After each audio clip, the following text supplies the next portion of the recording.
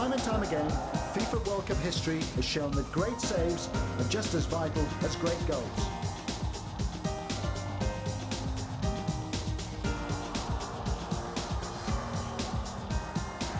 Just one save can turn a game, make the difference between winning or losing.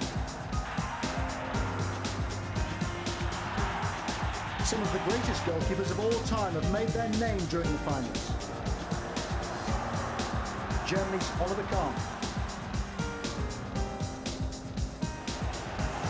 From Italy, Dino Zoff.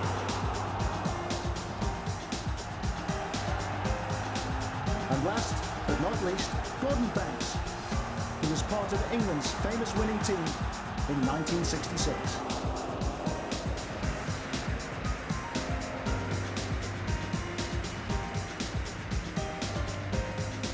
Years later, the tournament in Mexico produced many fine moments, including arguably the greatest save in World Cup history. In the 10th minute of England's wonderful first round match against Brazil, Banks made a stunning save from Pele. Those in the stadium couldn't comprehend it. Millions of TV viewers around the world wanted to see it replayed time and time again.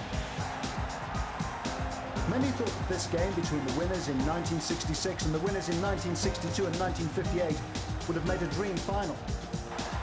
England had to defend, but captain Bobby Moore was outstanding, and Banks made several more good saves. However, he was finally beaten by a second-half goal from flying winger Jairzinho. It was a goal that gave Brazil a 1-0 win.